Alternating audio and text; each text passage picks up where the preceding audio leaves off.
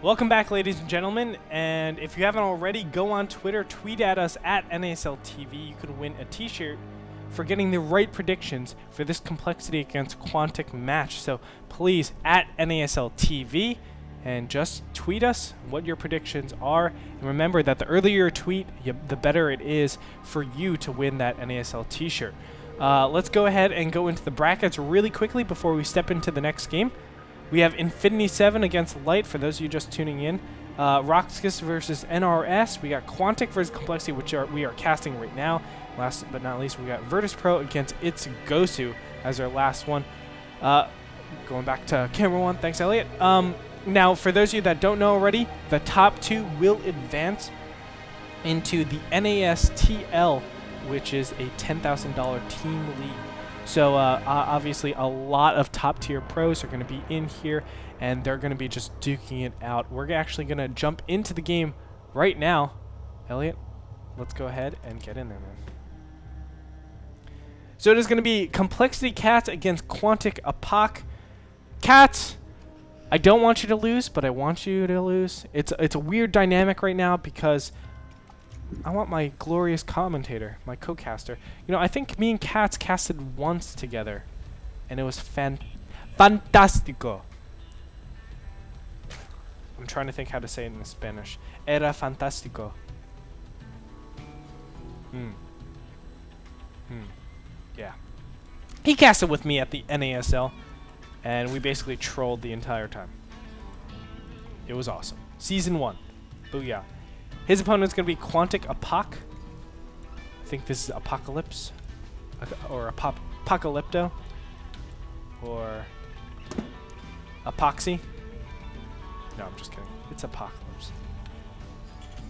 And we do have a TVZ on NASL Metalopolis.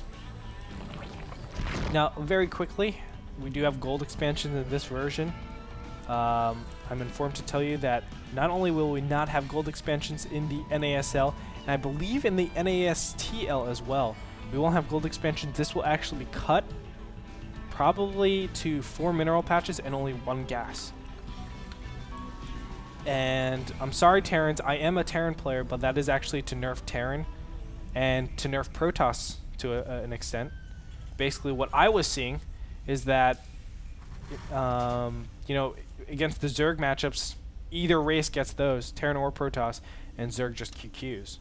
So I'm going to go ahead and change that also TVP. We had this dynamic where, uh, you know, a lot of people said Terran were favorite. It wasn't actually Terran were favorites or Protoss were favorites. It's that once you had momentum and you had center control, it was impossible to lose. With these gold expansions, it was literally impossible to lose. So, you, you know, you put Planetary Fortress down here, or you've seen it so many times, cannons on the top here, and it would basically disable you from ever using your or your opponent using from the gold expansion. So got rid of that. No more of that. Now you're punished for taking the center with reduced amount of minerals and gas. Good job, Andre. Thanks. You're a good map maker. Well, I'm okay. All right. Anyway, we do have a Reaper opening. A very interesting type of Reaper opening. I'm assuming some sort of Reaper expand into a very fast stim. That's what we see a lot of times in TVZ. Well, I shouldn't say a lot of times. Maybe, you know, 15, 20% of the games. Uh, but this is super standard. Complexity Cats going for fast expansion 15 and then getting extractor thereafter. He does this delayed extractor so that he can plop down uh, queens at the same time if he didn't supply cap. Oh, cats. You cray. And uh, he's actually continuing with Reaper production. Very interesting. So we'll see if this actually gets the job done. Now, I like this because Cats is known for actually going delayed, delayed uh, metabolic boost. So this is actually punishing Cats' style. of course, when Queens come out, he will be a lot better, but still a lot of work can be done with just, you know, a couple Reapers. They do two-shot Zerglings if they're attacked in, in fast succession. So we'll see if he's able to do anything. Ooh, this Reaper could be in a lot of trouble if he actually pops up there. Don't pop up, don't pop up, don't pop up! Just a little hit and run. Nothing too big. So fast combat shields, of course, stim will follow thereafter. This bunker is a little bit weirdly placed. A lot of times you have it on the ramp. But it looks like, ooh, these Reapers were able to get in and kill the Zergling. So this is what I'm talking about. Not having metabolic boost, but oh no, the drones are actually trapping all these Reapers. The Reapers need to get out of there. One does go down before, before the overall onslaught of these Reapers are actually um, continued. But, uh, you know, with one Reaper, you can't really do much in this, this point in time.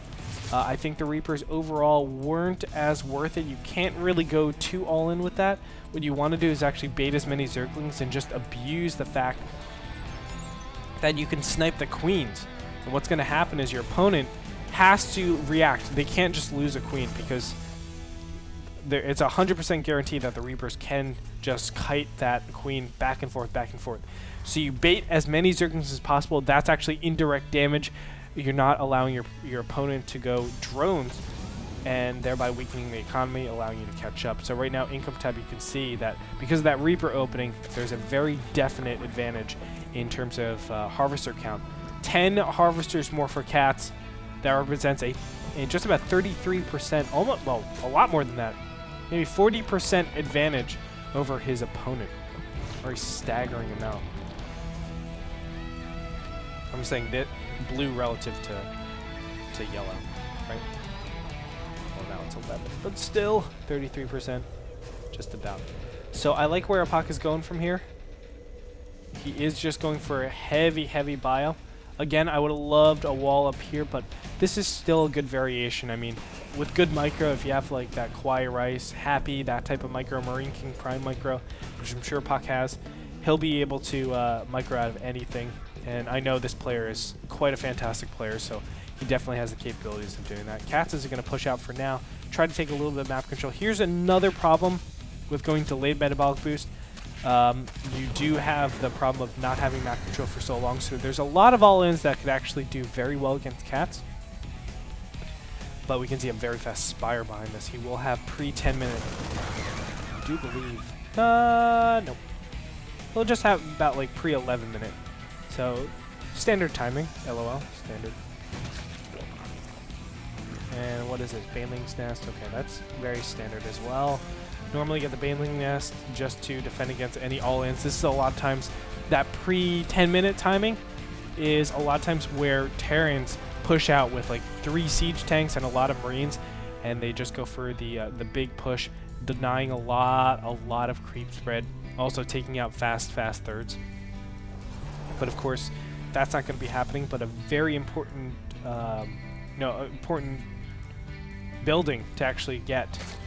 Else you'll be in a lot of trouble. So these Marines are going to be micro back. Stim has been initiated, and he's just going to kite these Zerglings back and forth. A good job by Apoc. So far, nothing too crazy. Ooh, double drop coming out. Ca cats, double drop coming your way. And this is a little...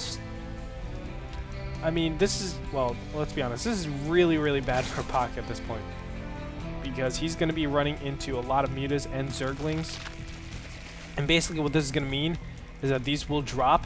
And so long as Cats has the, the material out, there is zero chance that this this uh, without well he has to win decisively or he's completely dead now because he's going to lose a lot if Banelings can connect here, and there's no way that he can retreat. Banelings going to push forward. Oh my god! Beautiful Baneling hits. He actually loads up, and the mutas will take out the rest of the units. Medivac goes down with a ton of Marines in there, and from here on out, I think Cats has a very, very direct way of winning the game. He should just mass up in Zerglings right now, wait for centrifugal hooks, and just go for a huge, huge all-in, knowing that his opponent has a very, very crazy deficit in the mounting units he has. Cat's going to go and poke up right now. A great decision take out these reactors. Actually go... Looks like, uh, he could have picked off that reactor. I would have loved him just to do that. But Cats should be, yes, look at that. He's just going to mass up in Zerglings, waiting for that centrifugal hooks, getting additional Banelings. I love it. I love it. I love it. Cat's going to realize that right now is the perfect time to actually go in for a huge all. It's not really an all-in. It's going to be a, a very, it's going to do damage 100% of the time. Especially with this uh, command center out here. Great job by Cats. A great defense. Unfortunately, to an extent though, I don't want to take away, like, Apocalypse could do anything about it. It was a little bit of a build order counter, so I'm not going to be like, oh, yeah, Apocalypse, he should have done that well, he should have, no. Uh, it, it's just a shame. Apocalypse did run into one of the builds that basically um, smashes this build, so Apocalypse, not a lot he can do from here. He has to play defensive for quite a long time. That leads for a lot of variations. Cat's actually not going to go for the all-in. He's going to just sit back and relax. We're Animaniacs. So, kind of a weird timing for Apocalypse to actually push out. Um, I'm actually kind of worried about this. I don't think this is actually correct just because of all the variations that Cats could be doing, unless he did get a good scan. No, he didn't even scan this, so this is a very risky push. Um, for right now, Apocalypse understands. Ooh, a little bit of drop. I actually missed this drop back here. Excuse me. The drop is cleaned up. Um, right now, Apocalypse has a huge set of different builds he could be going up against. It could be something like greedy like this, which is Cat's doing, going up to four bases at this point. But it could be just still two base, and in that case, there's going to be a ton of Zergling Baneling. Uh, Cats is doing a three base, which is still going to be strong. In in this position, I do feel like Cats, um, you know, still with with his advantage, will be able to take all down all this. Ooh, nom nom nom! Free tanks in the center of the map. And look at this, a counterattack swinging around. These Zerglings are going to catch all these Marines and tanks off guard. And again, taking down that tank count is so important. Running into a planetary fortress, that is not what he wants to see. I think he should have went for that siege tank, but still, I guess he wanted to scout out, see if there was an expansion over there. And to his dismay, he does see an expansion. Kind of unfortunate for Cats, who realized he's not nearly as ahead as he wanted to be.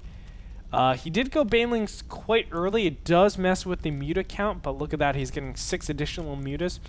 And what I mean by that, he went Banelings super, super early without knowing. That's why I thought for sure he was going to do an all-in, because he's prepping that huge Zergling Baneling force.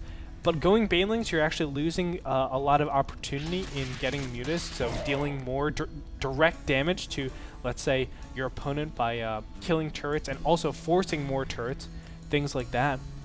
So, Cat's still in a slight advantage, I would say, but Apoc is holding on here. And, you know, he has messed up. His tank count is severely uh, hampered but I think he's still in a manageable situation. Looks like a, a small little drop here on the right-hand side. That's going to be cleaned up very easily. Muta goes down. A little bit careless by Cats. As Queen also goes down. No units actually being traveled over there. Uh, it was actually the Mutas coming from all the way across the map. Third is being focused down. I don't think it'll go down in time. No, it will not. The Marines will be cleaned up. In the Units tab. 20 meters out in the field. Upgrades are looking 1-1 to 1-1. And Bach going to push out now. And look at this. He has a pretty big army. Pushing out the 168 food. I like this push out. I think it's pretty decent. Ooh. Apocalypse does need to be very careful. He doesn't want to be pushing too hard on creep. And while the units are out and about, of course, Cat's going to take that that uh, that mobility advantage that he has and gonna just swing around, attack his third. Oh my god, a lot of units out here. If he actually swung in and, and with his Zerglings, he would have been in a great position. He has Zerglings over here in the top right-hand corner that he's actually not using. But look at this, Cats is just monstrous at this point.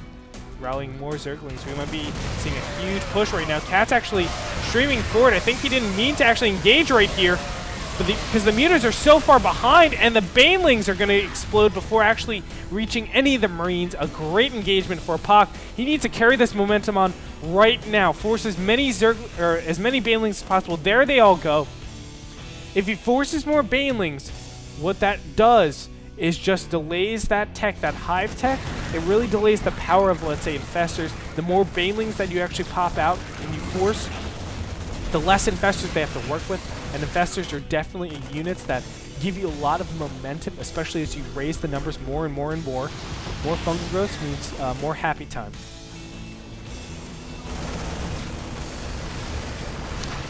So this push is going to push forward. LOL. Said that wrong. And he's looking pretty decent. Look at this spread. An amazing spread, but he does have creep spread all over the place. I would love him to actually deal with this. Marine's going to go into the bottom left-hand corner base. That should be the cue for Cats to actually do something about this. Nice fungal growth on these units. Tank going up way too far. And, uh-oh, there might be way too many Zerglings in this army. This isn't good. Marines are spread out very nicely. Mutas are actually coming in from the side, magic boxing the one Thor. Now focusing down on all the tanks. The tanks are so spread out. Not a lot of Marines out here, but they're actually not focusing on the Marines. The Marines are so badly injured, you could easily clean those up. In the meantime, the bottom left-hand corner, Marines have taken out the fourth base. So Apocalypse in a great position. 161 food to 110. He's at 2-2 upgrades. What is Cats at? He Should be at 2-2 as well. There he goes. And now, oh, oh, oh a pretty good unit. But the problem is, Cats doesn't have power hitting units anymore. Mutas are the power hitting units. Broodlords are power hitting units. He's trying to get Broodlords at this time. This is a very, very tough time for Cats. He's just like hoping his opponent doesn't push out right now. He does have the capabilities of doing that because Apocalypse lost a ton I mean a ton of infest of uh, of siege tanks. So infestors are extra powerful at this point, just because he can kite with infestors all day long. This is a lot of Thors though, and I like this play. It does deal with uh, with Broodlords pretty well, but with infestors maybe not as much. Yo, don't push in here, cats. That would be incorrect though. The Spaniel for incorrect you didn't know.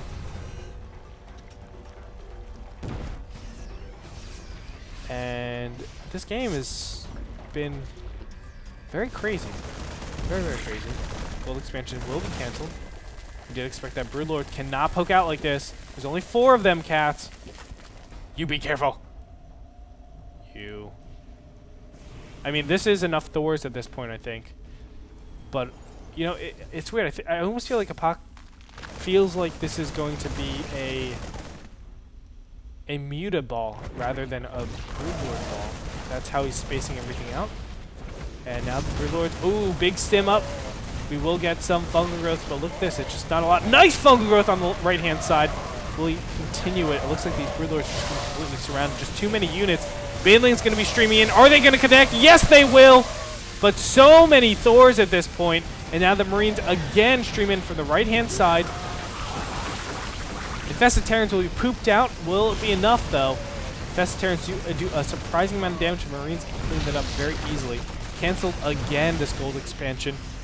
And these Thors are heroes. Not liquid heroes, just heroes. Additional Broodlord going to try to be popped out right here, but it's going to be shot down before it can even more.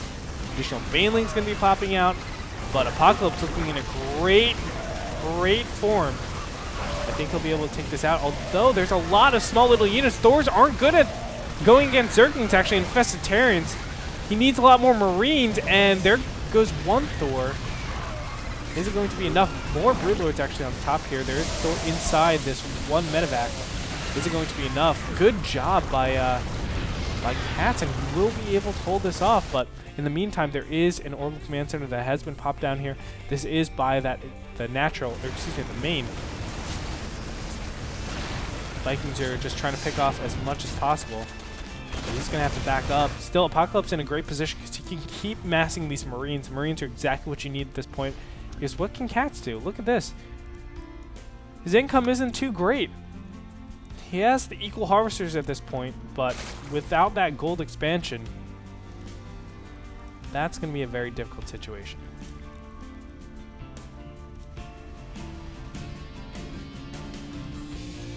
Thankfully, it's not a planetary fortress. Another orbital command center is actually going to be put down right next to his gold expansion. It's going to give him the ability, to obviously, put more mules down here. I would love him to actually saturate ba that base a little bit more. All these... Ah! SCVs! Do something! Stop doing nothing! going to the uh, Quantic Apoc camp. See 20 SCVs.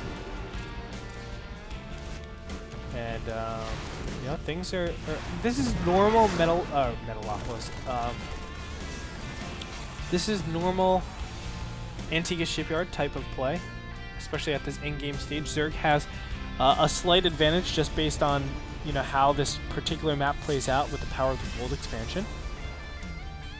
Looks like he's moving on to this lower left-hand side. A lot of Banelings shaping up. Wow, there's a huge stream of units in the middle of the map here. This could spell very, very profitable games for Cats. Because the Banelings are going to be coming in from the opposite side. Where are those Banelings, actually? A lot of fungal growth going off, but look at how many medivacs there are. Good job so far by Apocalypse. Additional fungal growth going off. That one Thor is able to go down. Uh, Broodlords are actually staying very, very safe. And what's so impressive is that Cats has kept his uh, infestor count rather strong. He's been doing a very good job at keeping that going. And for the most part, I think because of that, he's actually risen to another advantage. I think he's denying this gold expansion is instrumental in winning this game. Additional Zerglings will be piling on. There are uh, a small group of Marines over here, but one Baneling should be enough to actually kill all four of those. There you go. Gold expansion will be denied, but he did mine that quite a bit. Will be enough, though. Apocalypse is still mining off of one base. Complexity Cat's mining off of one base as well. Uh, it all comes down to this fight, I think. And there you go. Infested Terran's going to be pooping out, forcing the retreat on its opponent. That one Orbital Command Center did get taken out. That's very important to note because that represents a lot of the economy, uh, the potential economy of Quantic Apocalypse. And there you go, finally using those SCVs. I think the game, that was probably one of the big things too, Apocalypse, if he actually used those SCVs on that gold expansion, he would have had a lot more minerals, a lot more units, and therefore I think would have been able to hold that off. But overall, this has been an epic, epic game. Apocalypse showing some great skill, and ho ho, worst time to be simming there. That was a double sim on all those Marines, so one shot every single Marine with those Banelings. And overall, because the infestor count hasn't actually been thwarted, Cats is going to take a very decisive advantage in this game.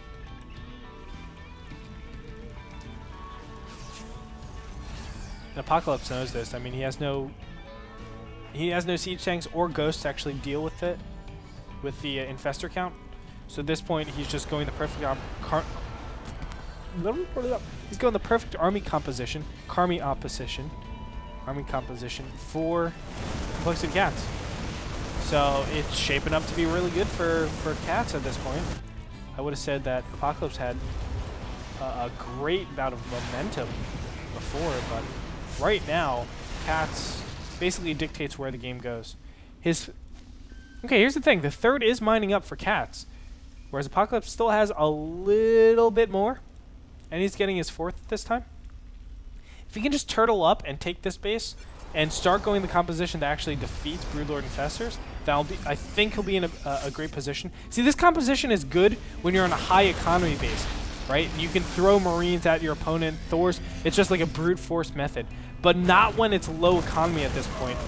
You can't sustain this type of army. It just will not work. Oh my god! Uh, oh! oh. The, the infestors were just thrown at his opponent and just like that, I move, you move. And uh, apparently Apocalypse just hit cats. That's how we do it. I have these subtle, subtle uh, song jokes everywhere. But it goes over the head of people that are born in the 1990s maybe. Uh, actually, I always think that's a lot younger now. That's I'm pretty old. Whatever. Uh, so Apocalypse will be able to take this top middle expansion. That's going to be instrumental for him in getting back into the game. Now what he needs to do is build on his army composition. He cannot stay with this current dynamic of Marine Thor. I mean, as I said, it's great when you're in high economy situations. You can brute forth a lot of different trades. It forces a ton of decision making for your opponent, but this is this is the problem. Baneling streaming in. They will connect because the Fungal Growth is keeping in place, and now it's just the Thors and a handful of Vikings. GGEO comes out from Apocalypse Cats. is going to take game number two, putting him up 2-0.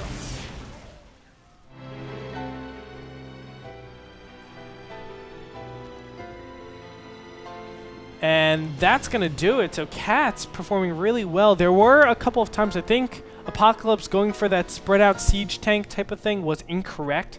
And I'll explain to you why. When you're doing that type of, uh, of build, you have to, you only, or excuse me, when you're doing that type of spread, you only do it either in two positions, when you're 200, 200, or you've just traded armies and you're pushing in again. And the reason for that is because the mute count. You can only do it 200 200 assuming that you have Thors there. It deals with the mutas very easily. It forces them not to be in a great position because they like to attack a single entity and just be all over it so the Zerglings can tank the damage and then the mutas won't have to deal with anything. When you spread out completely, then the mutas are forced to take damage and, uh, and, and they end up dying. Well, what he did was he did it just straight out at, as I said, 160 uh, supply push. And the reason why that's not good is because the mutas can actually take advantage when the Thor count doesn't exist, and he only had one Thor. Now he spread out so much where the Zerglings could actually pick him off. He, I think he overextended his his spread, and he really just wasn't cost efficient at this point. He just he wasn't able to connect to siege tanks as much. The firepower wasn't as good. His marines weren't all together. So overall, I think if he just congregate all of his units, he would in much better position. Take out the fourth and then drop back to the gold expansion much better position. But Cats was able to actually come back into that and sort of relive because I feel like him losing all the mutas in that first engagement really hurt him so much. Uh, but he was able to climb his way back, and then there was that transition period where um, uh, Apocalypse went those Thors, didn't get any siege tanks, and empowered the the the uh, infestors. And when you empower the infestors, it basically says, please go Broodlords, because I can't do anything about it. It forces really hard tech switches, which actually Apocalypse didn't do. He should have went to Ghost, Viking, and uh, and Siege tanks, because you need to clear out the, the uh, what's it called? The infestors. I keep blanking on that name. Uh, unfortunately, that didn't happen. He went for the brute force, and you can't do that when you're uh, in such a low economy situation. But Cats is going to take game number two. Uh, so congratulations to him. Complexity is up 2-0, and they're looking really, really good. Again, tweet us at NASL TV. That's where you can give us your match predictions. From there, you might win a free shirt. Remember, the earlier people that predict uh, predict the matches will be in a better chance to win that NASL shirt. So uh, definitely do that. And when we come back, we'll be doing a chat giveaway. Don't go away. We'll be back after this short break.